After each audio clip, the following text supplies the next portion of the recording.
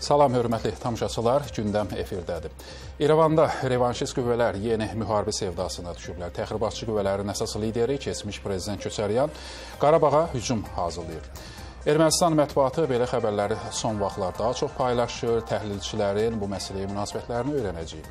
İranın Milli Təhlükəsizlik üzrə Ali Şurasının katibi Əli Şəmxaninin İrəvandan sonra sabah Bakıya nəzərdə tutan səfərin məqsədləri də əsas müzakirə mövzumuz olacaq və bugündən test imtahanı mərhələsi başlayıb. İmtahan prosesinin gedişatını da biz sizə təqdim etməyə çalışacağıq. Beləliklə efirdə gündəmdir və indi isə dünya ölkəyə dair ən son məlumatları sizə çatdırmaq istəyərdim. Məlumunuz var ki, artıq Birləşmiş Şəhərlər Prezident Joe Bidenin yaxın şərqə səfəri daha çox müzakirə mövzudur və İsraildən Ukraynaya hərbi yardımı artırmağı xahiş edib Joe Biden. Bu barədə jurnalistlər üçün keçirilən brifinqdə qeyd olunub, bildirilib ki, Prezident Biden bugün Yerusəlimdə İsrailin baş naziri vəzifəsini icra edən Yar Yapidlə görüşdə ondan Ukraynaya hərbi yardımı artırmağı xahiş edəcək. Onu da qeyd eləyək ki, son aylardan etibarən İsrailin Moskvaya qarşı siyasəti dəyişib və Rusiyanın fevralda işğala başladığı vaxtdan bəri daha çox Ukrayna yönümlü mövqe tutmağa başlayıb. Ancaq İsrail indiyə kimi Ukraynaya qabaqçı silahlar verməyib. Ukrayna bir neçə dəfə İsraildən antidron sistemləri istəsə də, İsrail tərəfi buna qarşılıq verməmişdi. Müharibədən əvvəl İsrail bu sistemləri Ukraynaya satmağa razılaşsa da, işğal başlayandan bu ölkə, yəni İsrail satış lisenziyasını dondurub. İki həftə əvvəl baş nazir səlahiyyətlərini icra etməyə başlayan Yar Lapid e, işğal başlayandan bəri Rusiyaya qarşı daha sərt mövqe tutub. Digər mövzumuz dünyada e, taxılla bağlı görüşlər daimi olaraq mütəmadi olaraq keçirilir və İstanbulda sonuncu belə toplantı oldu. Bununla bağlı növbət toplantının yeri və vaxtı bəlli olub. Rusiya, Türkiyə, Ukrayna və BMT nümayəndələr heyətinin taxılla bağlı növbəti görüşünün vaxtı da açıqlanıb. Dörd tərəfli görüş iyul ayının 20 və 21-də keçiriləcək. Qeyd eləyək ki, ilk e, dörd tərəfli görüş iyul ayının 23-də baş tutmuşdu. Bu görüşdə İstanbulda Ukrayna taxılına dair koordinasiya mərkəzinin yaradılması barədə qərar qəbul olunmuşdu. Avropa İttifaqı Rusiyadan asılılıq azaltmaq üçün Azərbaycanla qeyd-şərtsiz qaz idxalı sazişi imzalamağa hazırlaşır. Bu barədə Euroserver nəzərdən keçirdiyi saziş layihəsində deyilir. Sənəd əsasən tərəflər iki tərəfli təbii qaz ticarətini, o cümlədən e, Cənubi qaz e, dəhlizi ilə Avropa İttifaqının ixrac vasitəsilə 2027-ci ilə qədər kommersiya məqsəd e, yönlü və bazara tələblərinə uyğun olaraq hər il ən azı 20 milyard kubmetr qaz həcmində dəstəkləməyi hədəfləyiblər. Digər bir xəbərə keçid eləmək istəyərdi. Şuşada Heydər Əliyev Fondu, Azərbaycan Respublikası Mədəniyyət Nazirliyi və Azərbaycan Yazıçılar Birliyinin təşkilatçılığı ilə Vaqif Poeziya günləri başlayıb. 40 illik tarixi olan Vaqif Poeziya günləri Şuşa işğaldan azad edildikdən sonra artıq ikinci dəfədir ki, Azərbaycanın mədəniyyət paytaxtında yenidən təşkil olunur. Azərbaycan Şuşada və digər azad olunmuş ərazilərdə mədəni tədbirlər keçirir, amma Ermənistansa, Ermənistan revanşist qüvvələri isə bu əraziləri yenidən işğal etmək e, niyyətindədirlər. Ermənistan mətbuatında son vaxtlar belə xəbərlər daha çox e, pay paylaşılıb və onlar Ermənistan xalqına Qarabağı yenidən işğal edərək İrəvanın nəzarətinə keçirəcəklərinə söz veriblər. Bu fikirlər sözləri erməni siyasətçi Tevos Arsakyan e, bildirib. Bu həqiqətən də Köçəryanın sonuncu silahıdır. Revanşistlər elə düşünürlər ki, bunu söz verməklə onların ardınca gedəcək insanların sayı artacaq. Onlar hətta onu da bəyan edirlər ki, güya Qarabağda gizlənən erməni qanunsuz hərbi birləşmələrinin üzvləri artıq hücum planının üzərində işləyirlər. Üzr istəyirəm, amma e, bizi axmaq yerinə qoymağa davam edir. E, yoxsa Köçəryan elə düşünür ki, erməni xalqı onların yalanlarını unudub. Bəli, bəzi xüsusi hazırlıq keçmiş muzlar pul naminə Qarabağda hücum e, hazırlaya bilər, amma sonradan bunun Ermənistan və tam olaraq bütün ermənilər üçün nə ilə nəticələnəcəyini düşünmək vacibdir. E, bir daha qeyd edək ki, əsas e, danışacağımız müzakirə mövzusu da məhz bu olacaq və studiyamızın qonağı siyasi şərhçi Yeganə Hacıyeva ilə bu haqda danışacağıq. Yeganə xanım, xoş gördük. Salamlayırıq sizi gündəmdən və ilkin olaraq bilmək istəyərdik, bu yayılan xəbərlərin arxasında nələr və kimlər dayanır? Öncelikle dəvətə görə təşəkkür edirəm. Bildiyiniz kimi son aylar Ermənistanda müxalifətin məhz hakimiyyət üçün müəyyən problemlər yaradan və etirazların aktiv keçirdiyi aylardır. Amma mart ayından başlayaraq hətta may ayının ortalarında və sonlarına yaxın çox aktiv olan bu etirazlar ə, qismən səngiyib və bəzi yerlərdə isə ümumiyyətlə aradan qalxıb. O yüzden Ermənistan müxalifəti daxildə bu etirazlar üçün bir ə, fakt əsaslar mı deyək ki, bir zəminlər, bir tezislər formalaşdırmaqla məşğuldur və onlardan da biri məhz Köçəryanın məhz elə Ermənistan erməni ekspertinin dediyi kimi sonuncu silahı olan Qarabağda güya əks hücum əməliyyatlarının hazırlanması və bunun istiqamətində güclü güclü bir işin getməsi ilə bağlı blefdir. Niyə bunu blef deyirik? Məsələ ondadır ki, əslində bu gün Qarabağ Rusiya sülh məramların təsiri altındadır. Yəni nəzarət təsirindən söhbət gedir. Nəzarəti altındadır və orada var erməni silahlı qüvvələri, var terrorçu qruplar hansılar ki, biz məhz noyabrın 10-da imzalanmış üç tərəfli razılaşmaya görə onlar oradan çıxarılmalı idi, hələ çıxarılmayıb. Amma bunların sayı Azərbaycan ordusuna hücum edəcək qədər Qarabağı işğaldan azad onların təbirincə desək işğaldan azad edəcək qədər Azərbaycan ordusunu əvvəlki pozisiyalarına çəkəcək qədər güclü deyil. Yəni bu növbəti bir blefdir və bu blefdə yenə də daxildə Paşinyana qarşı bu müxalif ruhun sınmaması üçün istifadə olunan manevrdir sadəcə. E, əlbəttə ki, Ermənistanın heç bir ya e, siyasi, hərbi və iqtisadi gücü çatmır, amma bütün bunlara baxmayaraq yenə də qeyd elədiyim kimi Ermənistan kütləvi informasiya vasitələri bundan daha çox yazırlar.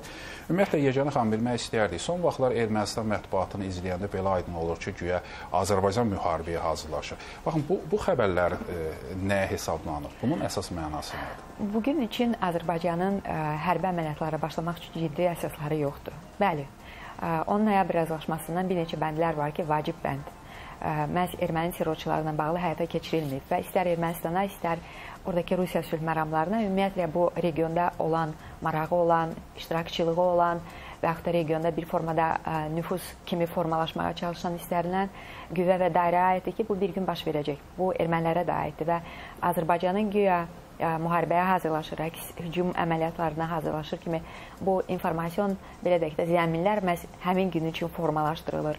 Ancaq bunu da qeyd etmək lazımdır ki, burada digər bir tərəf də var. Məsələ ondadır ki, məqam kiminə qabardılır? Məhz oradakı terrorçu qruplar, muzlu qruplar, məhz erməni ekspertin dediyi kimi.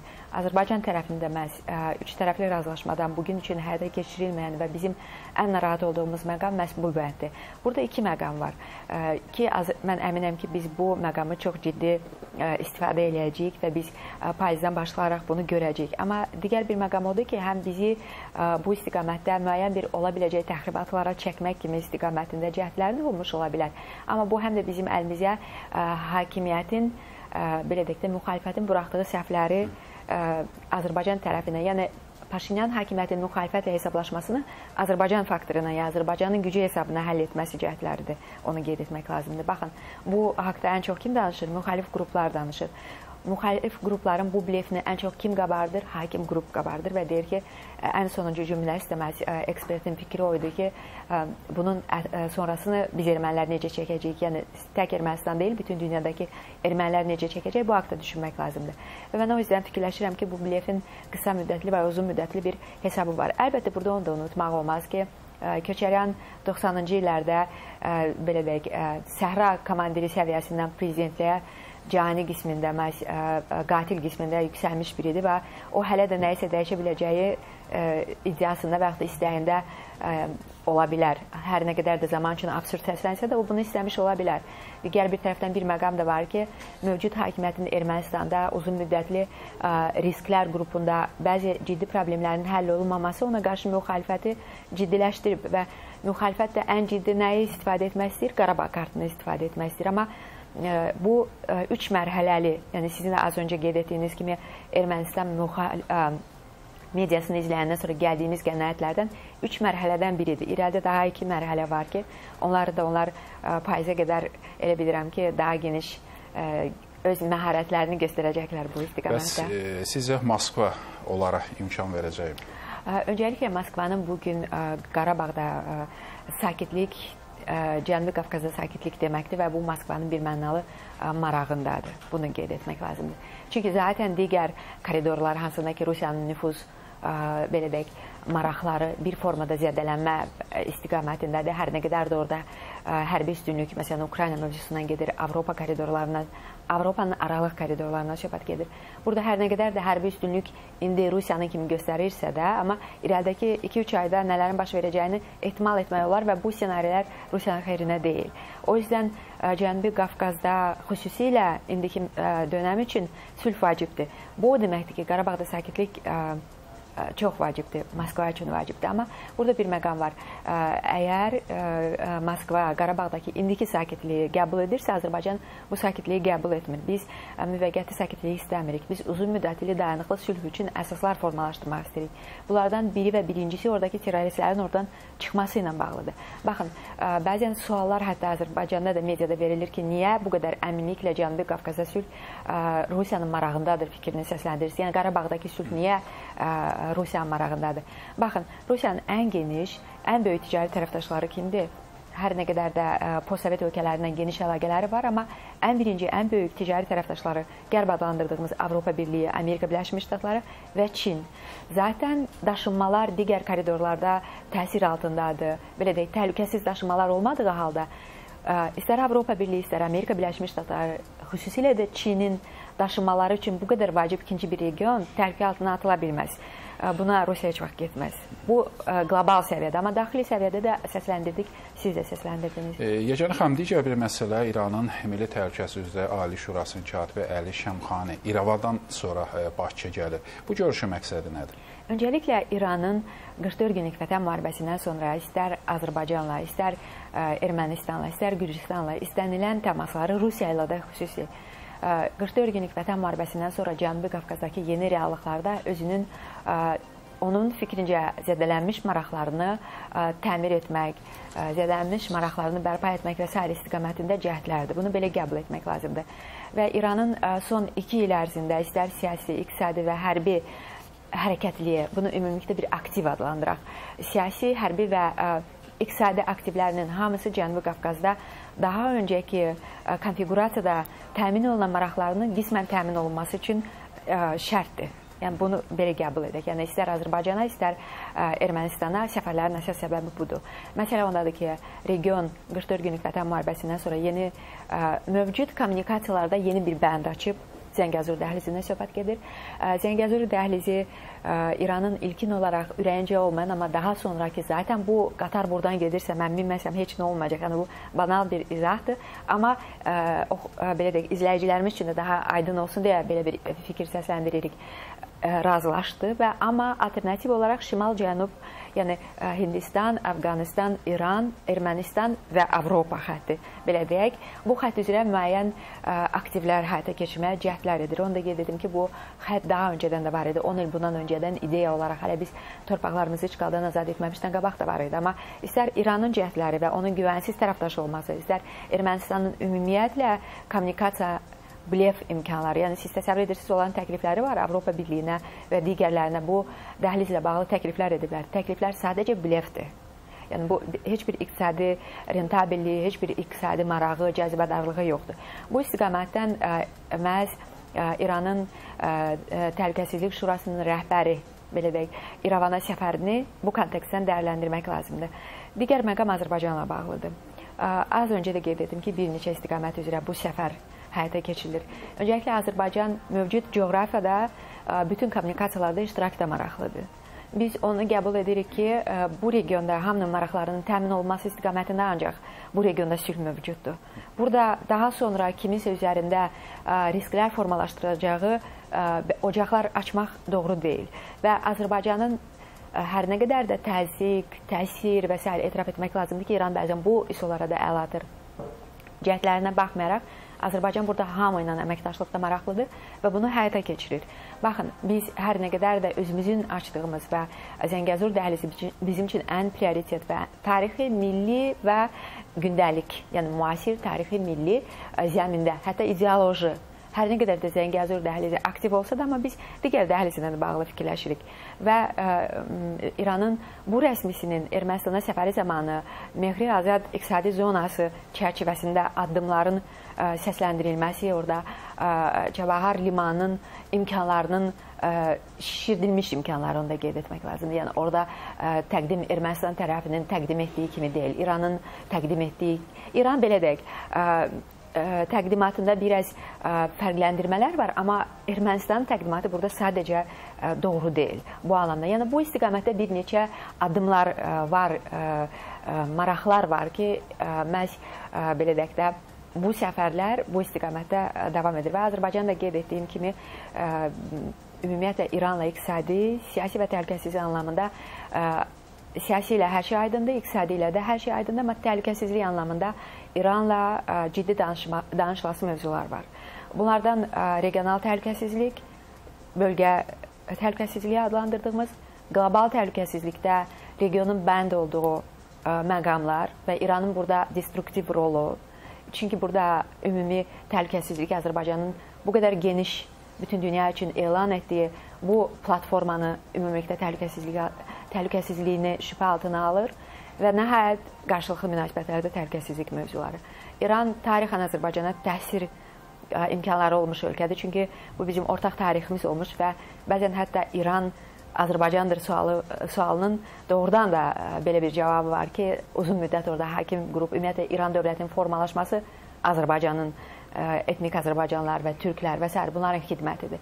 Və o yüzdən İranın bu gün Azərbaycanla bağlı və Azərbaycanın İrandan soruşulası məqamlar var və son günlərin xüsusilə daxildəki proseslərdə aktiv tərzdə bu ölkənin şəbəkəsinin aktivliyi xüsusilə danışılası mövzudur və mən əminəm ki, sabahki mövzuda belə deyək də məhz təhlükəsizlik bizim də təhlükəsizlik şurasının nümayəndəsi ilə onların danışığında ümumi açıq danışıqlardan kənarda arxa qapılar arxasında danışılası və ən əsası İranın bu mövzuda zəmanət verəsi məqamları var. Yegən xanım, e, beynəlxalq kontekstdən, e, beynəlxalq aləmdə baş verən proseslər fonunda da istəyərdik ki, sizin təhlillərinizi eşidək. Bu gün Qərb də, Birləşmiş Ştatlar da, Avropa İttifaqı da Cənubi Qafqaza çox maraqlıdır. Və onu da nəzərə alaq ki, e, Birləşmiş Ştatların Qərbin Rusiyaya, İrana qarşı sanksiyaları da artır və Joe Bidenin yaxın şərq səfərində İranla bağlı dediklərini xatırlatsaq. Son vaxtlar həm Türkiyə olsun, Rusiya və İranın birgə Cənubi Qafqaz uğrunda keçirdikləri görüşlərin bizə birbaşa Azərbaycandan nə faydası olacaq? Belə deyək də bu görüşlərin hamısında Azərbaycan mərkəzlədir. Yəni bu konfiqurasiya elə bir ə, e, elə formada qurulub ki, ə, e, istər Türkiyənin, Rusiyanın, İranın ə, e, hər nə qədər də İran ə, Cənubi Qafqazda özünün əsas tərəfdaşı kimi Ermənistanı elan etsə də, amma ə, siyasi və ideoloji və digər istəklərin kənarında bir iqtisadi kontekstlər var. İqtisadi kontekstlərdə burada əsas vacib mər mərkəz ölkə Azərbaycandır. Bu bu məsələ. Amma siz maraqlı bir mövzuya toxundunuz və biz ə, belə deyək İranla Cənubi Qafqazdakı mövcud vəziyyəti müzakirə edərkən ə, belə deyək də daxildə də bunu ikinci plana keçiririk. Daha çox bu haqqda danışmırıq. Amma məsələ ondadır ki, 44 günlük vətən müharibəsinə kimi burada bir platforma vardı və İranın sanksiyaları ə, belə deyək də Azərbaycanın işğal altındakı olan torpaqlarının hesabına ə, yan keçilirdi və ə, əgər 2020-ci ilin sentyabr ayına qədər İranın ə, mövcud sanksiyalardan yayınma üçün 3 əsas əlaməti var idisə, onun ikisi məhz 44 günlük vətən müharibəsində əlindən çıxdı. İndi ortada cəmi bir qapı qalıb və mən ə, ə, belə deyək, Amerika Birləşmiş Ştatlarının təhlükəsizlik müşaviri, prezidentin təhlükəsizlik müşaviri Savilanın sırağı günkü fikirlərini səsləndirmək istəyirəm. Yəni faktiki olaraq nüvə mövzusunda İranın aktivliyi və bu ə, aktivliyin deyil İran, həm, həmçinin İran ətrafı, yəni istər yaxın şərq olsun, istər Cənubi Qafqaz olsun, təhlükəsizlik risklərini nəzərə alsaq, burada İranın atmalı olduğu addımlar var və bu addımlarda da İranın ə, təşəbbüs kim, təşəbbüskar kimi görsənmir. Amma burada bir məqam var. İranı istər yaxın şərqdəki layihələrdə, istər Cənubi Qafqazdakı layihələrdə yanında görmək və nəzarət etmək daha doğrudur. Doğrusudur. Çünki ə, bildiyiniz kimi çox əsirlik öz qonşularının, qonşu xalqların hesabına öz sərhədlərini qorumaq adət və ənənəsi olan bir ölkədir və bu mövzuda, bu regionda ən həssas ölkə də Azərbaycandır. Çünki etnik, milli, tarixi bağdan onların burada bir təsiri, həm də dini ən əsası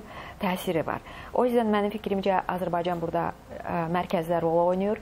Amerika Birləşmiş Ştatlarının hər nə qədər də siyasi hakimiyyətinin Ermənistanla yaxınlığı mövcud olsa da, yenə də Cənubi Qafqazda Amerika Birləşmiş Ştatlarının Azərbaycana yönəlik inkişaf edən, möhkəmlənən, istənilən ə, aktivləri məhz onun Cənubi Qafqazda maraqlarının möhkəmlənməsinə xidmət edir və ə, digər əs əsasda Türkiyə Azərbaycanla qardaş və faktiki olaraq eyni mövqedən çıxış edən və hətta bəzən bir-birimizin maraqlarının əleyhinə də olsa belə, yəni o addımlar ki, Azərbaycanın xeyrinədir, Türkiyə orada ikinci, ə, öz maraqlarını çox qabartmır və yaxud da əksinə Türkiyənin xeyrinədirsə Azərbaycan burada müəyyən bir ə, görməməzlikdən gəldiyi məqamlar var. Qalır ə, digərləri Rusiya. Baxın, Rusiya üçün bu gün bu regionda sülh və stabillik onun onsuz da aktiv ə, sərhədlərindəki belə deyək də ocaqlardan növbətisinə və ən həlledicisinə çevrilə bilər. Mən bir məqamı xatırlatmaq istəyirəm. Esirini son illəri Cənubi Qafqazda məhz Qarabağla bağlı ə, proseslərin başlaması ilə ə, belə deyək də yekunlaşdı. Cənubi Qafqaz dünya iqtisadi münasibətləri, yəni tənzimlənən iqtisadi münasibətlərində, hətta tənzimlənməyən çirkli daşımalardan da söhbət gedirsə, çox mühüm yerdədir. Burada Yaxın Şərqin Avropaya, Yaxın Şərqin Asiyaya, Mərkəzi Asiyanın Avropaya, yəni bu qədər mineral və resurs daşımalar Cənubi Qafqazdan bir, ikinci də kommunikasiya olaraq istifadə olunur. Burada sülh, stabillik çox vacibdir. Çox sağ olun Yecana xanım təhlillərinizə görə. Bəli, dəyərli izləyicilər, İranın Milli Təhlükəsizlik üzrə Ali Şurasının katibinin sabah Bakıya nəzərdə tutulan görüşü barədə də biz müzakirələri etməyə çalışdıq. Amma bizə ayrılan vaxt burada yekunlaşdı. Növbəti buraxılışlarda yeni mövzularla qarşınızda olacağıq. Hələlik isə sağ olun, salamat qalın.